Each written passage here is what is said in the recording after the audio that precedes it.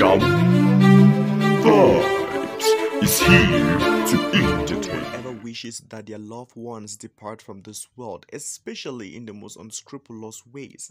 Imagine being a top celebrity, a role model to so many people. Imagine being a genuine father, a loved one to so many people. Imagine having the love of your life, your parents. What on earth is going on in SC already? This time around, it seems like the bad spirit has actually come on the way of AKA, who happens to be one of the biggest, the richest, and most successful South African rappers of all time. Yes, so many bad things have been happening to South African celebrities, but this time around, it is alleged that AKA's life has been claimed through gunshot somewhere around Durban. Make sure you watch this video so you get more details.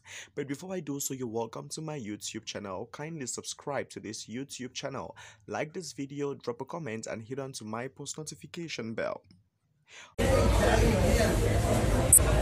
Yo, this is sad, bro.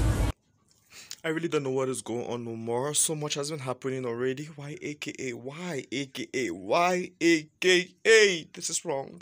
Upon all the people in this world, why just celebrities? Why are their lives being claimed on daily basis as though they don't deserve to live? It is very heartbreaking, and so many people are so shattered about what is going on. While I was going through on Facebook, I came across this post all over, some people tagging me that the AKA's life has been claimed.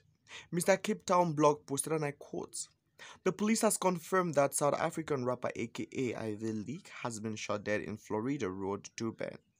Reports suggest that he was shot six times outside a nightlife venue.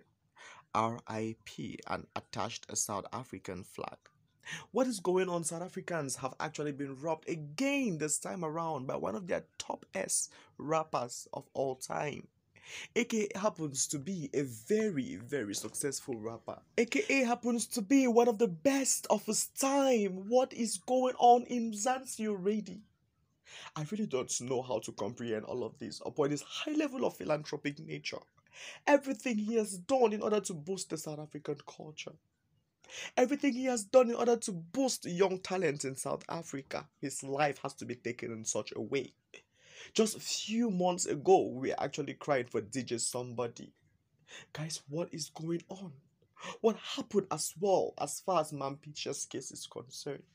And right now, AKA, one of the biggest that Africa has ever had, one of those prominent figures that South Africa is proud to say, hey, he is South African. Things are going wrong. I pray he so rest in peace and may his family accept my wholehearted condolence. This is a tough time already.